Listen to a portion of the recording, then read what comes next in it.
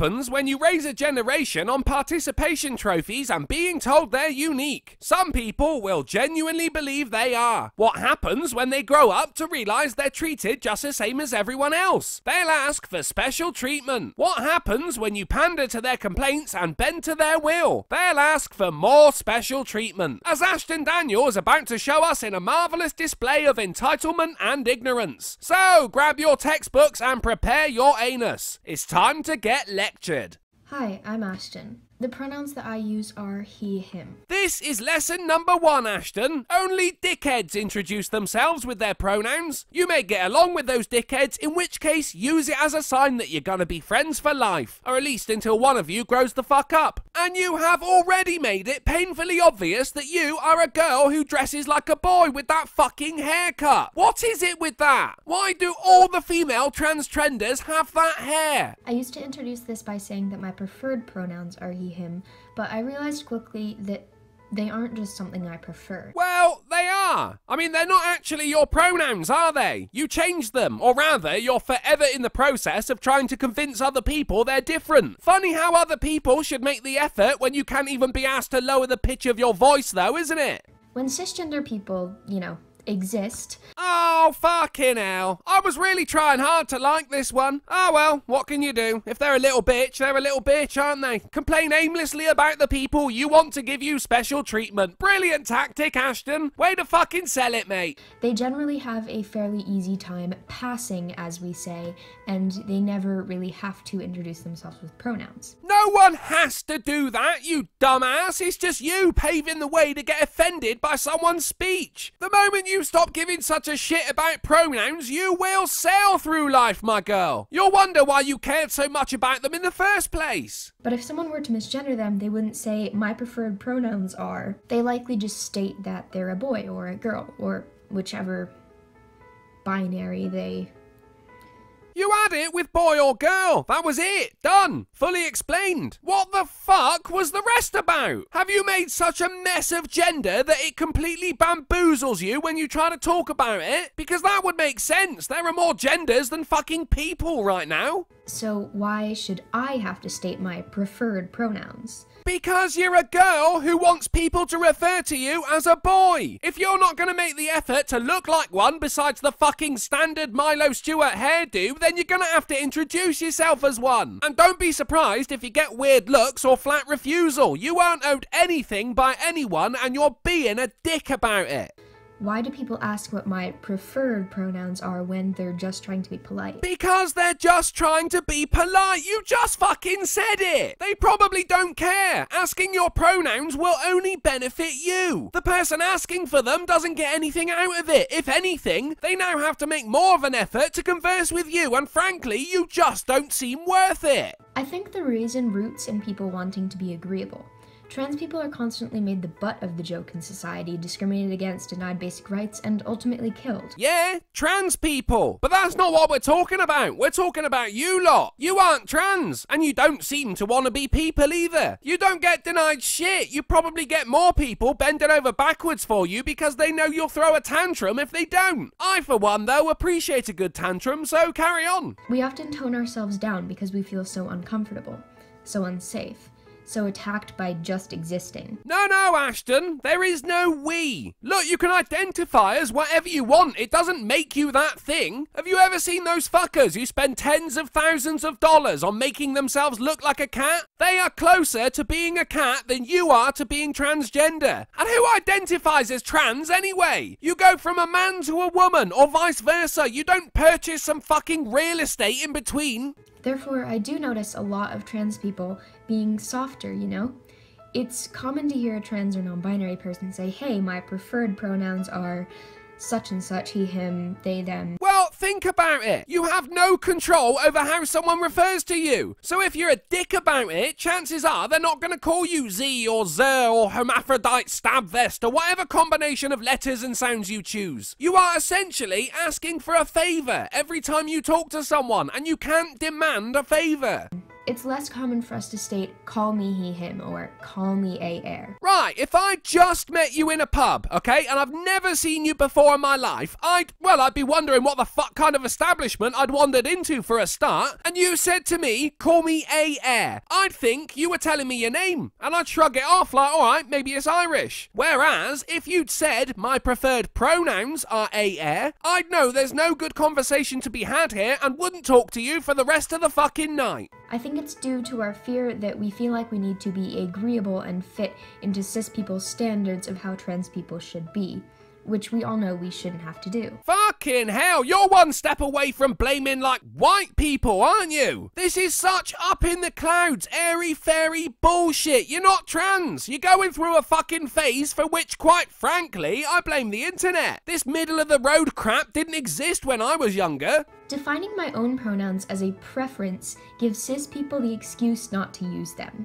I don't need an excuse not to use them. Why would I need to be excused from something which is in no way an obligation? And try to make it an obligation. I fucking dare you. That shit will just never wash. There are more cunts like me in the world than there are snowflakes like you. They are preferred pronouns because that is what you would prefer to be referred as, yeah? When talking to you, you are referred to as you. So your pronouns are for when people are talking about you, which again, you have no fucking control over.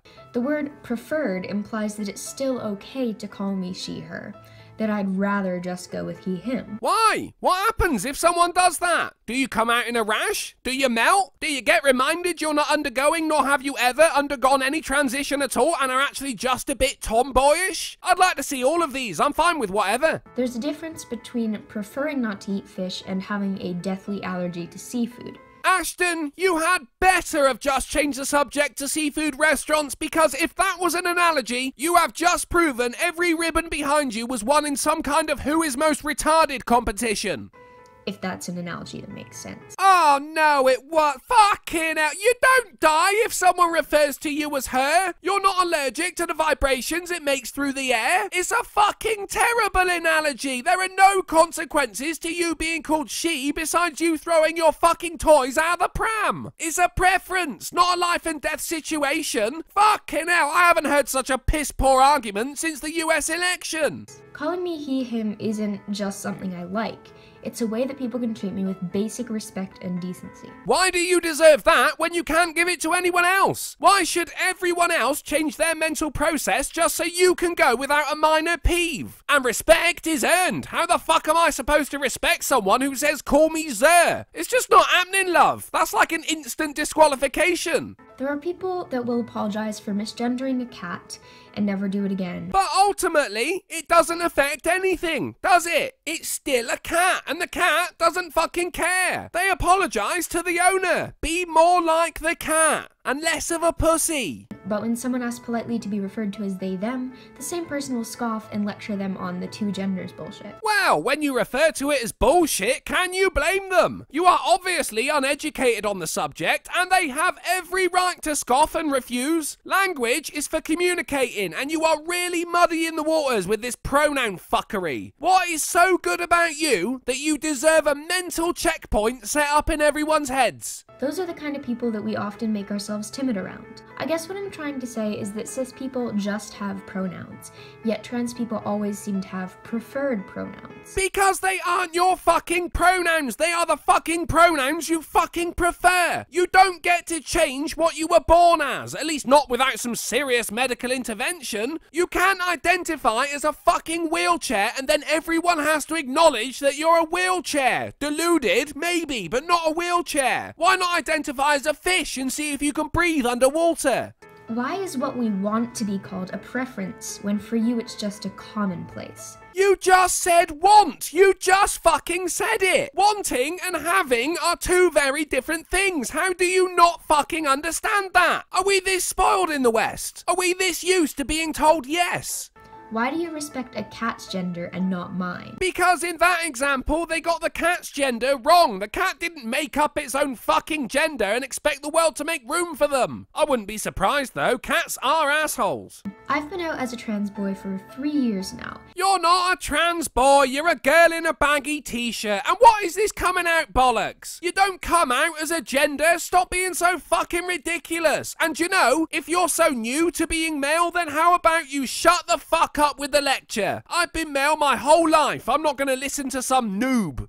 And I will no longer cater to cis people by telling them that he, him, his are preferred. They're my pronouns just the same as yours or yours. No, they're not. They're your preferred pronouns. And this is a sure way to get people to refer to you as that stuck up bitch. And how the fuck have you been catering to cis people by calling them preferred pronouns? You're asking them to take extra care when talking to you. That's not catering, that's taking the fucking piss. Me being trans doesn't give cis people the right to decide the validity of my gender for me. That's true. All except the part about you being trans. However, you can't control how someone else sees you. So maybe stop trying to condition everyone else and sort out your own fucked up existence. And maybe put on some foundation, yeah? You look like an Elysian. It doesn't give them the right to deny me basic respect that they would give to anyone else. Oh, you are so wrong there. Respect can be denied for whatever fucking reason you want. You don't have a right to be respected. It's a privilege. I can't believe we've gone so long with no one saying that word. It seems odd, doesn't it? Normally it would have come up like 10 times by now. If you're trans, non binary, genderqueer, demigender, anything other than cis,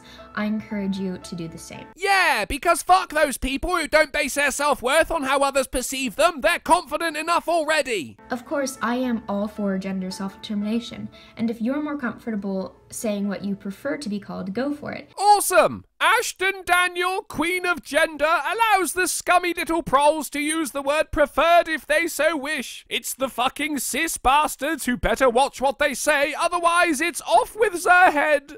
In some cases, it may be helpful, in some cases, it may be safer. Are you really trying to tell me your non binary, all have the same haircut lot get beat up for your pronouns? The only way I could believe that is if it was genuine transsexuals doing it, because man, they really can't like you very much, can they? I imagine the same kind of anger from when it turned out Rachel Dolezal wasn't black, but that's just me. Just be aware that calling your pronouns a preference may come off as a weakness, and it may be used as an excuse if people misgender you.